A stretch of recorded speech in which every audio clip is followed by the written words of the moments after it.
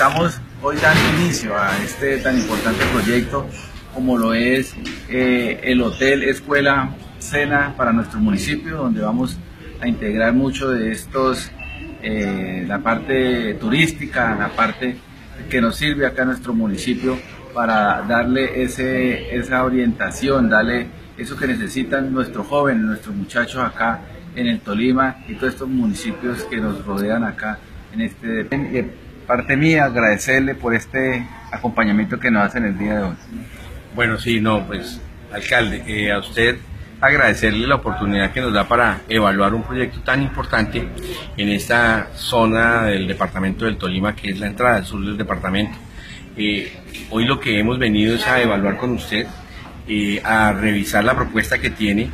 para que el Hotel de Mayá pueda constituirse no solamente en un hotel escuela, sino en un epicentro de una vitrina para mostrar lo que es la vocación y las oportunidades productivas que tiene el municipio del Guamo y toda esta región en el sector no solamente turístico, sino también en el sector gastronómico, en lo que tiene que ver con toda la producción de artesanías, de sombreros que ha sido tan tradicional en esta región, en lo que corresponde también al área de alimentos y producción de alimentos que también es muy importante aquí en el municipio del Guamo y en los municipios aledaños, porque lo que se pretende es que de lograr eh,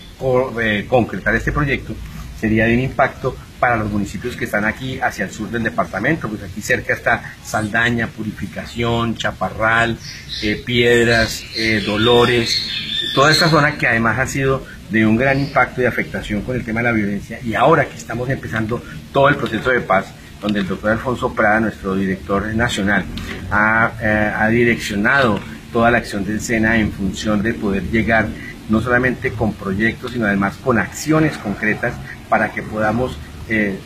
intervenir de manera productiva, de manera proactiva a las comunidades que fueron afectadas y a quienes van a nuevamente a regresar a una sociedad que espera tener una paz estable y duradera. Entonces, este proyecto que usted promueve al cual usted como alcalde está dispuesto a dedicarle muchos recursos, mucho tiempo y muchos esfuerzos. Creo que es muy importante no solamente para el Guamo, sino que va a ser un proyecto de carácter regional en donde el SENA está dispuesto a revisar y muy seguramente estará dispuesto a apostar.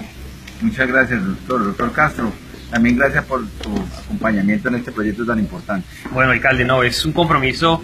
institucional del SENA, del director general Alfonso Prada, pues estar en las regiones, estar acompañando a los alcaldes, a los gobernadores y apoyar el desarrollo de las zonas que tienen vocación productiva y que tienen la voluntad además de salir adelante. Yo creo que usted en este en esta invitación que le hace al SENA y que nos hace a nosotros y al doctor Mauricio Alvarado, director nacional de formación profesional, eh, pues evidencia una voluntad expresa de ayudar a sus ciudadanos y ayudar al municipio y sin duda pues buscar un mecanismo que permita mejorar el desarrollo productivo de la región con un aliado estratégico como lo puede ser el SENA. Como lo ha dicho el doctor Mauricio Alvarado, estamos listos para revisar, para acompañar los proyectos con el Guamo, con su alcaldía y sin duda pues con todos los ciudadanos eh, que están acá en la región, el Tolima en general, que es un departamento maravilloso del cual tenemos un afecto especial y sin duda pues queremos trabajar para seguir adelantando proyectos de formación profesional, de empleo, emprendimiento certificación de competencias y además también contarle al mundo a través de ejercicios de internacionalización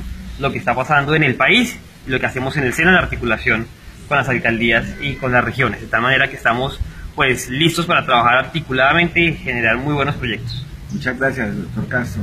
Y también contamos con la presencia del subdirector Jorge Enrique de Sena Espinal, de la seccional Espinal. Entonces, buenos días también. Buenos días, señor alcalde Jorge Enrique Mellado. Eh,